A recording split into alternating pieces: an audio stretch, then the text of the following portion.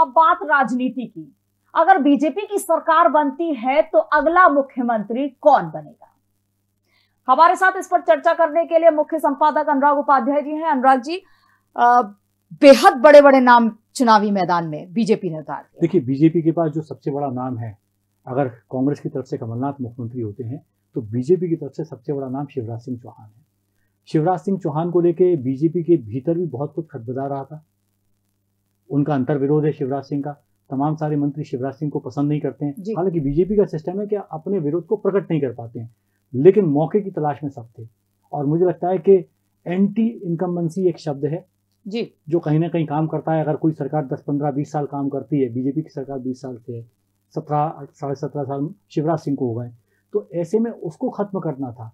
कुछ नए चेहरे लाने थे। कुछ चौंकाने वाला करना था। मतदाओं मतदाताओं को भी भ्रमित करना था। इसलिए बड़े नाम बीजेपी ने अपनी सूची में सबके सामने ला के रख दिए।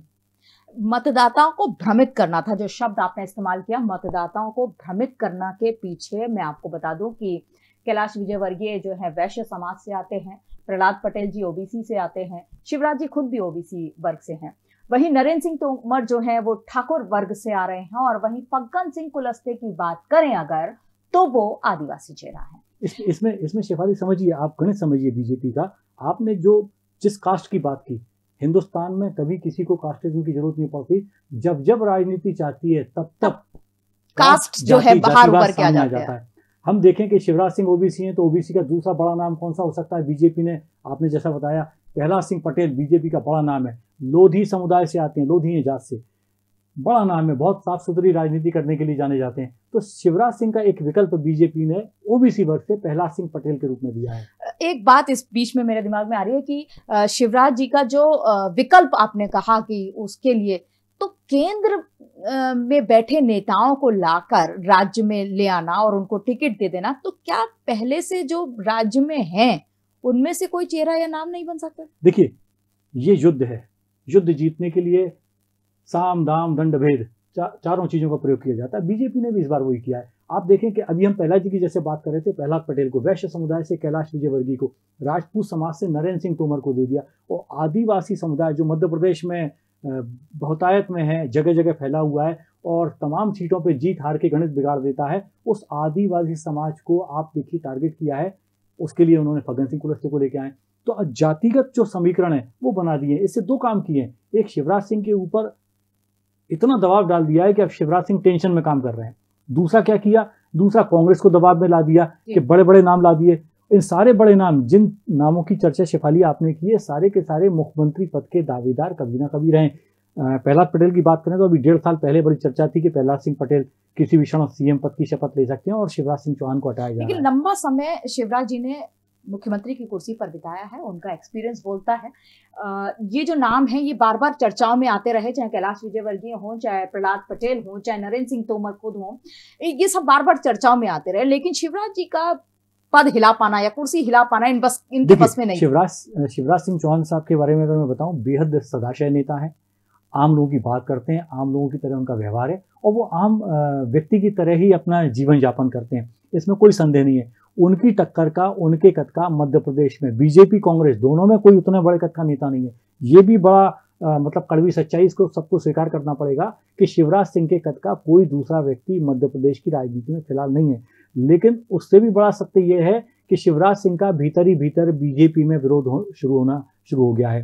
आ, आप जब देखें कि कमलनाथ की सरकार गिराई गई उसके बाद जो परिस्थितियाँ थी उसमें शिवराज सिंह को बना दिया गया। नहीं तो हो सकता था कि ज्योतिराज सिंधिया बीजेपी में आए थे उनको भी मुख्यमंत्री बनाया जा सकता था। उन्होंने सौदेबाजी नहीं की ज़्यादा। बिल्कुल अनुराग जी अभी जो चर्चा चल रही है इसमें हम ये पाँच नामों पर चर्चा कर रहे हैं लेकिन दो नाम और मुख्यमंत्री पद के दावेदारी में आ जाते हैं। एक हमारे बीजेपी के प्रदेश अध्यक्ष बी डी शर्मा जी हैं और वहीं दूसरे महाराज ज्योतिरादित्य सिंधिया हैं जिन्होंने पिछली बार सरकार बनाने में बहुत महत्वपूर्ण भूमिका निभाई। देखिए ज्योतिरादित्य सिंधिया जी की पहले बात करूँगा उनके बारे में कहा जाता है कि उनकी सरकार गिराने के पीछे की जो मंशा थी वो यही थी कि उनको वहाँ मुख्यमंत्री नहीं बनाया जा रहा था उनकी सुनवाई नहीं थी इसलिए उन्होंने सरकार गिरवा दी। लेकिन मुख्यमंत्री तो यहाँ भी नहीं बना मुख्यमंत्री यहाँ भी नहीं बने और मुझे नहीं लगता कि अभी ज्योतिरादित्य सिंधिया जी के पास कोई ऐसे चांस मुझे नज़र नहीं आ रही क्योंकि जो नामों की आपने बात की चाहे कैलाश जी हों या प्रहलाद पटेल साहब हों या नरेंद्र सिंह तोमर साहब हों इनमें अभी सबसे बड़ा नाम अगर शिवराज सिंह चौहान के बाद कोई है तो वे हैं नरेंद्र सिंह तोमर।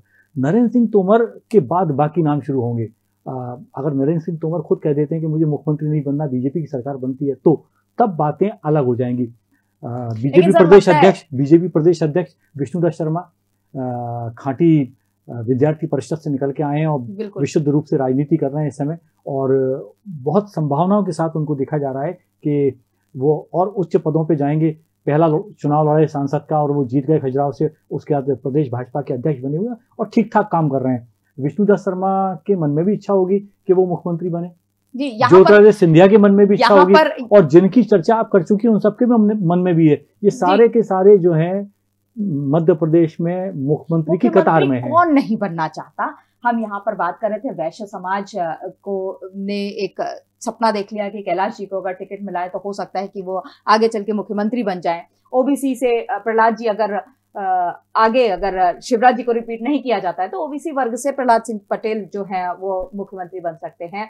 आपके राजपूत समाज से जो है वो नरेंद्र सिंह तोमर जी बन सकते हैं फग्गन सिंह कुलस्ते आदिवासी चेहरा हो सकते हैं। सबके मन में एक सपना सबने संजो लिया है कि हमारे वर्ग का मुख्यमंत्री बन सकता है। वहीं ब्राह्मण की बात करें जो थोड़ा सा रुष्ट और नाराज़ चल रहा है तो बी डी शर्मा की भी गुंजाइश ज़्यादा बन जाती है। देखिए एक नाम आप और भूल रही है एक नेता है इस समय मध्य प्रदेश के गृह मंत्री है। डॉक्टर नरोत्तम मिश्रा ब्राह्मण समाज का वो भी चेहरा है।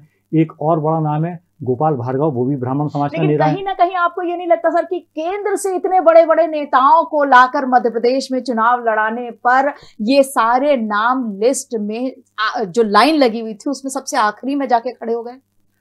देखिए नरोत्तम मिश्रा साहब बहुत पीछे पहुँच गए। हो सकता है कि थोड़े दिन बाद कोई लिस्ट आए उनका नाम कहीं से चुनाव लड़ेंगे जैसा अभी तक की संभावनाएँ लगती हैं। हो सकता है विष्णुदत्त शर्मा साहब को चुनाव लड़ाया जाए भोपाल में किसी सीट से उनको चुनाव लड़ाएँ इसकी बड़ी लंबी चौड़ी चर्चाएँ चर्चाएँ चल रही हैं। और ग्वालियर में ज्योतिरादित्य सिंधिया को भी मैदान में उतारा जा सकता है इससे फ़िलहाल अभी इनकार नहीं किया जा सकता। बाकी बीजेपी में प्रधानमंत्री नरेंद्र मोदी और गृह मंत्री अमित शाह जो पूरी रणनीति तय करते हैं बीजेपी की वो हमेशा चौंकाऊ फैसले लेते हैं। इस बार भी उन्होंने जो फैसला किया जिन नामों की हमने पहले चर्चा की उसके पीछे गणित ये था कि मुरैना में अगर नरेंद्र सिंह तोमर को दिमनी सीट से अगर उतारा गया है तो वो छह की छह सीटें वहाँ कांग्रेस के पास हैं। जी। नरेंद्र सिंह तोमर के आने से उन छह सीटों पे असर पड़ेगा उसके साथ ग्वालियर चंबल की चौंतीस सीटों पे असर पड़ेगा। तो एक बड़े वर्ग को साथ राजपूत समाज जहाँ जाए वहाँ उनको लगता है कि हमारा व्यक्ति सीएम हो सकता है तो नरेंद्र सिंह तोमर के साथ पूरा राजपूत समाज मध्य प्रदेश का जुड़ जाएगा। इसका लाभ बीजेपी को मिलने वाला है इससे इनकार नहीं किया जा सकता। ऐसी आपने वैश्य समुदाय की बात की थी छियासठ सीटें निमाड़ और मालवा में है। कैलाश विजयवर्गीय का दोनों जगह प्रभाव है। तो कैलाश विजयवर्गीय अपनी सीट जीते, उसके बाद इंदौर की सीटें जिताएँ, क्योंकि वहाँ बिल्कुल नेक टू नेक फाइट है बीजेपी कांग्रेस के बीच में। तो कैलाश विजयवर्गीय के ऊपर भी बड़ी ज़िम्मेदारी है। नरसिंहपुर में चार सीटें हैं, चारों की चार, अगर प्रहलाद पटेल जिताते हैं, प्रहलाद पटेल का जो असर है, वो महाकौशल के साथ बुंदेलखंड में भी है तो उसका लाभ बीजेपी लेना चाहती है।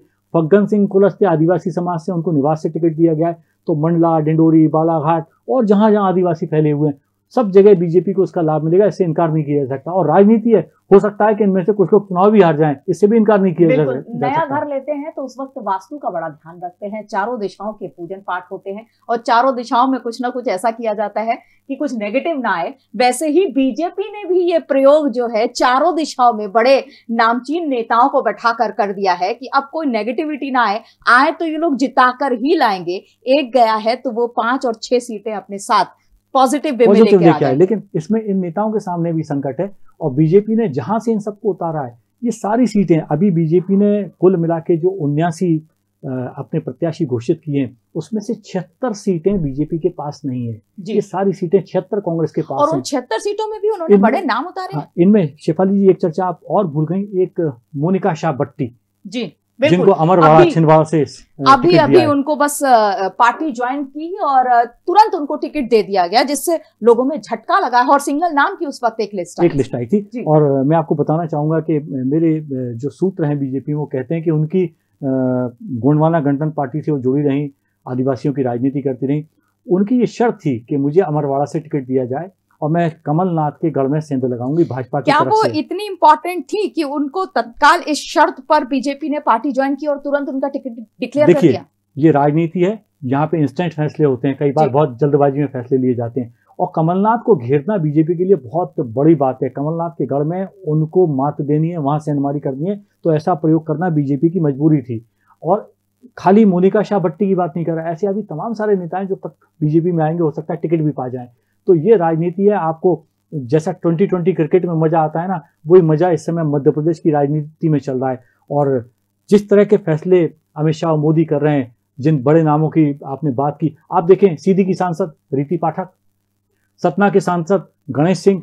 जबलपुर से सांसद राकेश सिंह सबको आपने विधानसभा के मैदान में उतार दिया। सीटें कई सीटें जो है संसद की खाली करा दी बिल्कुल खाली करा दी आप देखिएगा कि जब लोकसभा के चुनाव होंगे तो ये दोनों लोग शाह और मोदी की जोड़ी वहाँ भी बड़े चौंकाऊ फैसले लेगी और हो सकता है कि इनमें से कई लोग संसद में भी ना जाएँ। हो सकता है विधानसभा के सदस्य भी ना बन पाए और, और संसद के। भी ना जा पाए। मैं आपसे अब एक सवाल करता हूँ शिफाली। आपको लगता है इस सबके बाद सबसे ज़्यादा प्रेशर इस समय शिवराज सिंह के ऊपर होगा? बिल्कुल शिवराज जी पूरे प्रेशर में है और अट्ठारह बीस साल आप सरकार की बात करें डेढ़ साल इसमें से कमलनाथ जी के अगर निकाल भी दिए जाए तो सबसे ज़्यादा शासन का वक्त जो है लंबा वो शिवराज जी पर है।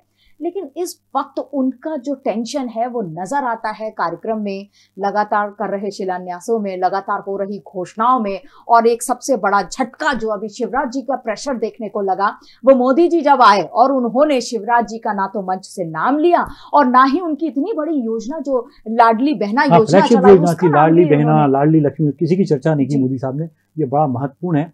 और उसके बाद जो शिवराज सिंह के कॉम्पिटिटर रहे हैं जो जिनको लोग भविष्य का मुख्यमंत्री के तौर पर देखते रहे उन सारे लोगों को टिकट दे देना। तो शिवराज जी पे कई चौतरफा दबाव है। एक तो ये दबाव है कि आप सबसे लंबे समय तक मुख्यमंत्री रहे उसके बाद आपकी सरकार दोबारा बन जाए यहाँ पे फिर से सरकार बन जाए इसके लिए अमित शाह और मोदी साहब को खुद प्रयास करने पड़ रहे हैं।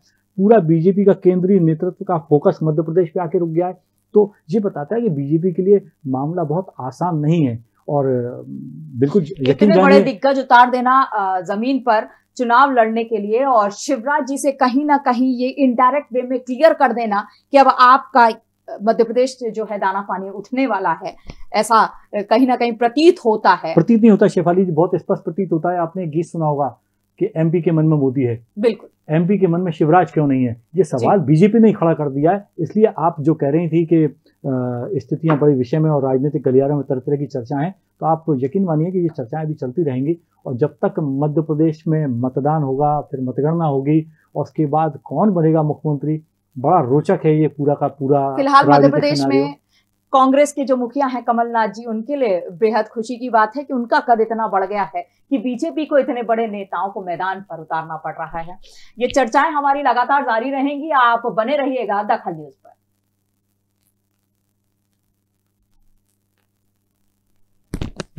साढ़े तेरह मिनट। तो नॉलेज साढ़े चौदह? मेरा साढ़े तेरह का अंदाज हाँ, चर्चा अभी तो हमने बहुत